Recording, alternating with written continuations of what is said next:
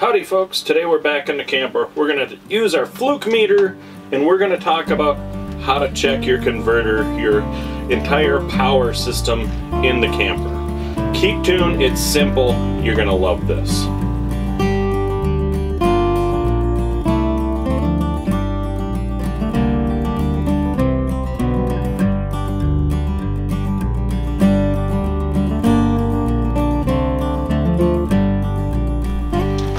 Alrighty folks, so we're all set up here to test our 12 volt power converter in the camper. This system turns shore power 120 volt into 12 volt power that many of the things in the camper can use like lights or a furnace or fans because most of those run off a 12 volt battery power. This camper doesn't have its own battery. So what I did is I took this battery here out of my garden tractor, which works the same, and I hooked it up to the 12 volt lugs on the distribution panel for the DC side, direct current. So as you can see here on our meter, the battery has 12.5 volts. This is a fully charged battery.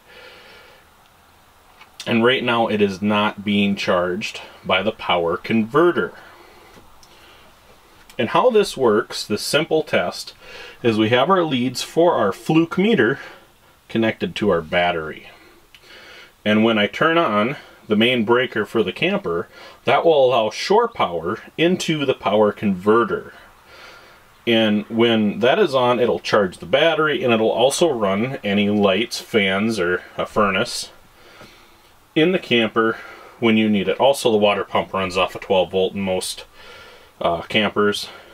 So, without further ado, if you watch the meter here, it's at 12.5 volts. And when I flip on the breaker, it's going to go up to almost 14 volts, which is charging.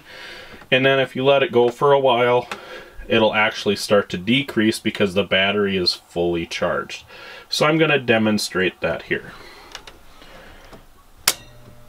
The converter is now on, and as you can see, we're up to 13 volts and it is still climbing.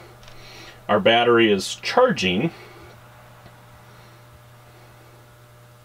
It's still climbing. We're at 12.9 or 13.97 volts approximately. It'll fluctuate just a little bit, but it's holding solid here for the moment as you can see. It's actually going to go down a little bit because it's realizing the battery doesn't need so much because the battery is almost full. And that there is how we test the 12 volt converter on the camper. And that'll run our lights, such as our LED lights that were in our last video that we installed. So thanks for watching. Please comment, rate, and subscribe. And if you'd like to see more, keep tuned because there's lots more RV videos coming up. Also, check down below for a link on how to get your own fluke meter.